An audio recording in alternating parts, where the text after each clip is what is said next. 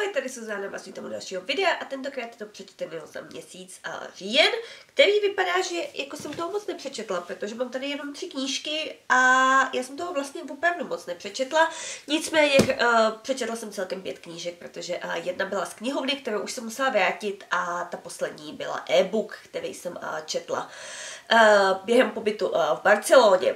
Vlastně upřímně řečeno, kromě toho, že jsem teda hrozně jako polezla a jetá, protože moje zdraví uh, si momentálně jako dává trošku už delší dobu jako pauzu a jenom se to jako teď celý prostě s příchodem tohohle hnusného podzimu zhoršilo, takže teď už jako opravdu nevím, co dřív, uh, respektive jako ono je to celostní záležitost, jo, že prostě nevím, se musím dát dohromady nějak jako komplexně a ono se to pak jako zlepší, což uh, se lehce řekne těžko udělá. Ale hlavně jsem úplně prostě vypatlaná, protože uh, si nejsem schopná prostě uvědomit, což jsem to v tom říjnu vlastně jako přečetla. Tak doufám, uh, že vám tady ukážu všechno a že vám náhodou něco neukážu prostě jako znova, ale snad ne. Tak, uh, pojďme se uh, do toho teda uh, pustit a omluvte uh, moji jako bývnou zmatenost asi už se na mě uh, blíží jako stavecká demence nebo. Tak, já jsem říjnu měla tu čest si přečíst ještě před vydáním uh, knížku Až najdu klíč od Alexe Andorila, což je mimochodem pseudonym Levse Keplera. Leves Kepler je vlastně pseudonym taky, protože je to pseudonym, pod kterým se skrývá uh, autorský manželský uh, duo Alexandra a Alexandry Andorilových. A oni se rozhodli, že kromě té uh, strašně temný až hororové série s Judou Lidou, nevím, jak se to čte, prostě pokud to někdo víte, tak uh, dejte vědět, co by mě fakt zajímalo. Uh, napíšou tentokrát detektivku takovou klasičtější ve stylu Agáty Christie uh, s úplně jako novým uh, uh, párem nebo s úplně novou uh, hrdinkou. A pro tu příležitost si teda rozhodli, že si dají i nový pseudonym a to je Alex Andoril. Upřímně řečeno, kdyby to možná vydali pod nálepkou nebo pod jménem Lars Kepler, prodávalo by se jim to líp, takhle je v tom strašný jako zmatek a člověk to musí pořád sáhodlouze jako vysvětlovat, kdože to teda ten Alex Andoril jako vlastně jako je. Uh, to je ale jako jejich uh, věc. Knížka už mi nicméně vyšla, tohle je teda reading copy, jak vidíte, a ve skutečnosti je hezčí, vyšla 1. listopadu, takže i vy si už teď můžete jako přečíst. Tahle ta uh, klasičtější, víc jako detektivní uh, verze mi sedla, ačkoliv pořád tam ten jejich osobitý styl a ta vlastně jako severská krimi je cítit, protože ty tajemství a ty problémy jsou tam jako opravdu jako velmi současný a velmi, velmi jako temný. Tady je hlavní hrdinkou Julie Starková, která si otevřela detektivní kancelář. Ona je velmi jako zajímavá, osobitá, taková až typicky jako románová hrdinka, protože chodí v hůlce a má prostě na tváři jizvu, i když je ve skutečnosti asi jako velmi krásná. Až teda na tuhle tu uh, kosmetickou vadu. Uh, Julie ale trpí posttraumatickou stresovou uh, poruchou, uh, dostává panický ataky, vůbec jako nesnese uh, lidský dotek, hlavně jako dotek uh, kůže na kůži. A má takový chvíle, kdy si jakoby před ní všechno zastaví a ona je v té chvíli schopná jakoby vnímat uh, detaily, které by si normální člověk ani nevšiml do Julijiny kanceláře jeden den přichází uh, muž, který prostě pověří dost neobvyklým úkolem, uh, aby zjistila, jestli někoho zabil nebo ne, protože on uh, hodně pije a během jednoho takového opileckého excesu, kdy má okno, tak se v jeho mobilu objevila fotka muže, který uh, má na hlavě jutový pytel a očividně byl jako zavražděný nebo pravděpodobně jako vážně zraněný a z největší pravděpodobností je prostě mrtvý. A ten muž prostě neví, jestli to spáchal on a nebo nespáchal a jak se ta fotka a vlastně v tom jeho mobilu jako ocitla, protože si to prostě nepamatuje. Ano, ta inspirace Agátu Kristý tam je, je tam velký panský sídlo, zbohatlická rodina, velmi úzký okruh podezřelej právě uh, jenom uh, z, jakoby z těch členů té uh, rodiny, rodinný prostě tajemství, rodinná historie, zároveň ta rodina žije tak staromilsky, prostě na vysoký noze, takže se tam dosejí dlouhý večerní rouby a pevly uh, prostě k večeři, šampaňský pevný ve skleničkách, podávají se tam jako úžasný pokrmy, čemuž tady věnovali hodně prostoru uh, oba dva jako autoři a uh, fakt jako to popisují tak, že jsem furt lovila něco hledat do lednice. Samozřejmě jsem tam nenašla ani nic vzdáleného tomu, co tady jako jedějí. A taky tam krásně popisují tu přírodu. Zároveň to funguje jako ta detektivka tím napětím ve víc liních, nejenom tím, že chcete teda vědět, jestli to ten člověk jako spáchal nebo nespáchal, nebo případně kdo to teda jako spáchal a jak. Uh, tak uh, vás zajímá taky uh, prostě, co se stalo Julii, uh, prostě co uh, se stalo v té její minulosti, že jí to takhle uh, fyzicky i psychicky uh, poznamenalo. Uh, to odhalení, jako co se jí tehdy stalo, je tak jako prostě elegantní, bez řečí, uh, nedělá se kolem toho žádný jako uh, prostě strašný halo, žádný wow, to se mi líbilo moc. A ano, dá se to z toho, z určitých náznaků jako vysledovat. Uh, nějak částečně odhadnout, částečně jsem to odhadla, ale celý úplně ne. Je to teda plánovaný jako trilogie, další díly u nás určitě jako vyjdou a vyjdou úplně stejně s tím švédským originálem, což vyšel i tenhle první díl, což je super. A já se do nich rozhodně jako pustím, protože jako je to super ale není to jako úplně moje srdcovka. Mě jako úplně nesedí ten styl, jakým je to psaný. Říkám, prostě tímhle stylem u nás třeba píše Michala Klevisová. Na mě je to takový prostě jako Není to až tak strašně svižný, tak strašně plynulý, tak jako hutný. Já mám prostě radši jako ještě jiný styl, tohle to není jako úplně to, co preferuju, ale hlavní jako výtky, které k tomu mám, tak uh, jsou vlastně, co se týče v těch osobních uh, vztazích. Julie je velmi jako osobitá a snadno zapamatovatelná hrdinka, ke který si ale jako nemůžete najít uh, cestu. Ona je vlastně velmi jako chladná, odtažitá, uzavřená, taková prostě tím vzhledem k tomu, co strašlivého se jí stalo, tak je uh, jako dost jako prostě zvláštní a hlavně mi vadila ta její snaha neustále vlastně jako získat aspoň z části toho jako jejího bývalého manžela zpátky. Ona si jako uvědomuje, že prostě ty jeho city prostě nezíská, protože mu něco provedla. To tady mimochodem se jako nedozvíte, to si autoři nechávají až do dalšího dílu očividně. A zároveň prostě ho chce aspoň jako z části a to je za mě jako fakt jako hodně nezdravý, jak pro ní, tak i pro toho chudáka Cindyho. Je to prostě taková už trošku manipulace, už trošku jako toxičnost a to mi jako vadí a i ta konverzace mezi nimi je prostě hrozně divná, taková strašně jako křečovitá. Jasně, jsou bývalí manželé, takže jako trošku rozpaky jsou tam jako na místě a taková nejistota nebo občas i nějaký třeba hloupější forek. To bych dokázala jako pochopit. Ale oni dva se spolu prostě mluví jako úplně nesmyslně, přitom o, spolu byli očividně jako hezkých pár let a navíc jako i po tom rozchodu a rozvodu o, zůstali jako přáteli, nebo v rámci možností jako přáteli, že spolu relativně dobře vycházejí. A přitom ta jejich komunikace je prostě úplně jak, jako prostě jeden v okoze, druhý v voze a vůbec. Prostě to mi strašně jako tam nesedlo. Ono toho tam není moc, ale je to a, jako extrémně jako divný.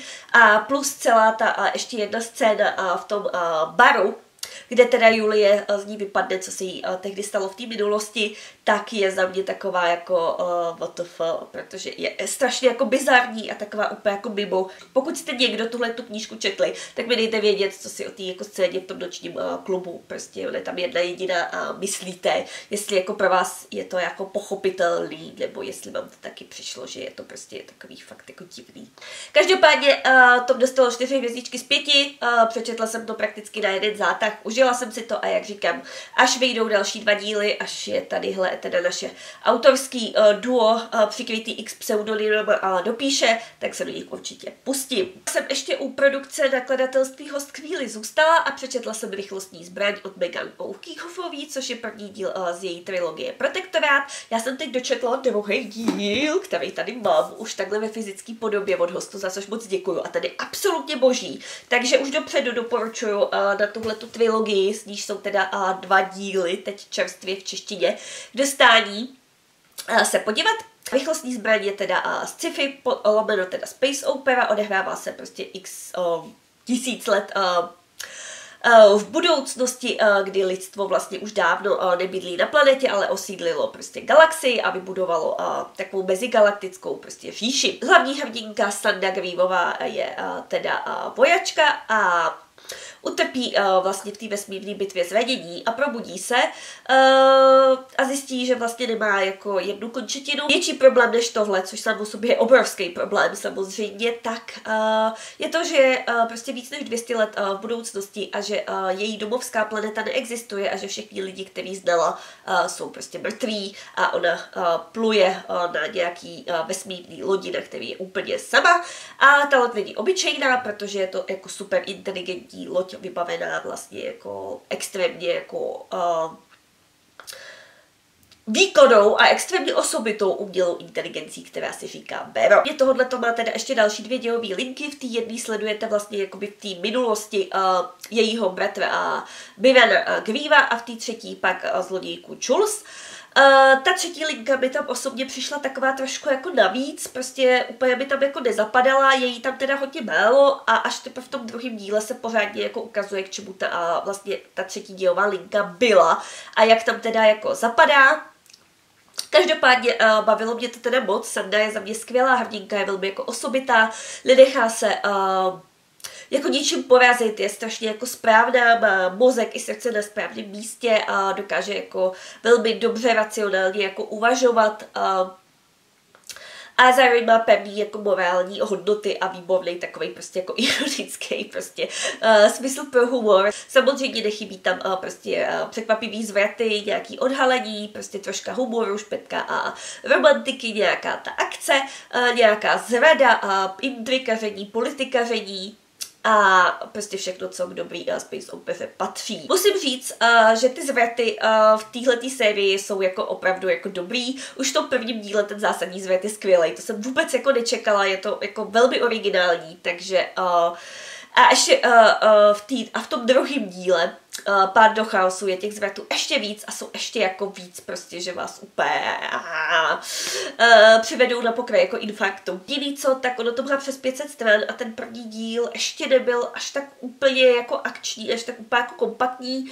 Uh, v té Biranově lince je hodně právě toho intrikaření, politikaření, takových těch politických a mocenských machinací, takže chvilkama se mi to trošičku jako vleklo a trošku by trvalo se začíst, ale i tak jsem si to jako skvěle užila. Dala jsem tomu čtyři nebo dokonce čtyři a půl hvězdičky z pěti, nevím, něco takového. Bylo to dobrý a Pád do chaosu je ještě jako o stupínek prostě jako lepší, ten se mi líbil ještě jako víc. Takže, uh, jak říkám, trilogii Protektorát uh, rozhodně doporučuji. Takhle vypadá ten druhý díl, někde vám sem hodím uh, obálku toho prvního. No a pak jsem se pustila do knížky, která byla asi nejočekávanější knížkou tohoto podzimu a to je Brána pekel od Lee Bardugo. Je to teda druhý díl ze série Alex Števnová, na který jsme čekali asi tři roky. Jsem si právě dala před čtením Brány pekel uh, reading toho prvního dílu s názvem Devátý spolek, což mimochodem vřele doporučuju, protože jako opravdu vám to jako hodně pomůže, abyste se uh, do tohohle jako rychle ponořili a aby se vám ty detaily pořádně jako skládaly dohromady. Uh, ne, že by to bylo jako asi úplně nezbytně nutný, ale na druhý přečtení byl devátý spolek jako lepší než na to první. Teprve uh, na to druhý přečtení jsem dokázala docenit vlastně všechny ty uh, jako náznaky, všechny ty detaily, všechny ty drobnosti, které se pak dohromady jako geniálně skládají do té jako mozaiky. Takže doporučuji dát si reading. Tohle je teda každopádně pokračování, který celý je vlastně o tom, že se Alex Števnová pokouší osvobodit uh, svého mentora a přítele Darlingtona a z pekla. Ale problém je, že vlastně netuší, jak se do toho pekla jako dostat. Oni potřebují najít uh, bránu pekel, takzvanou jako uličku, ale uh, zatím se jim to prostě uh, z těch kusejch informací, které uh, mají, nedaří. Takže nejprve uh, prostě teda musí najít samotnou bránu pekel, pak teda přijít na to, jak do toho pekla a prostě vlíst a pak se pokusit prostě dávník to neosvobodit a neumřít u toho. Takže má jako opravdu hodně, hodně jako napilno. Navíc se tady zase do toho přidává ještě jako taková lehká detektivní linka, protože uh, na Yale, kde Alex teda studuje a působí ty okultní uh, spolky, tak uh, zase uh, umírají uh, profesoři za velmi jako zvláštních okolností a policista nebo prostě detektiv a Bell Turner si myslí, že uh, v tom uh, má co dočinění magie, uh, takže si přivolává, byť nerad Alex na pomoc. Alex uh, společně s Okulem Pamelou Davesovou se snaží uh, osvobodit Darlingtona z pekla, až na to, že k tomu potřebují ještě jako další lidi, další spojence, ideálně i jako přátelé, ale bohužel uh, vedení uh, toho spolku Lété ani celý Yaleovy univerzity uh, a vůbec lidí, kteří jako o tom nadpřirozenu něco vědějí, jim pomoc nechce, naopak je od toho úkolu jako výrazně zrazuje, až přímo jim ho jako zakazuje. A celá ta série s Alex uh, patří do subžánru Dark Academia, což znamená, uh, že je to takový uh, temnější příběh a i tady znova se to jako potvrzuje. Je to vlastně tak trošku něco jako uh, šifra mistra Leonarda něco lehce v tom jako duchu, protože musí luštit uh, prostě různý jako dokumenty, uh, symboly, náznaky, uh, skládat dohromady uh, prostě celou jako tu mozaiku, prostě takovou hádanku. Všechny ty uh, budovy a to prostředí, který ona tady jako používá pro ten svůj fantasy svět, jsou skutečně jako reální. Jenom je ona opředla a tohletou předivem prostě jako magie a tajemství. A to je teda za mě jako velký jako majstrštyk, protože nevím, jak to udělala, je prostě jako hrozně dobrá.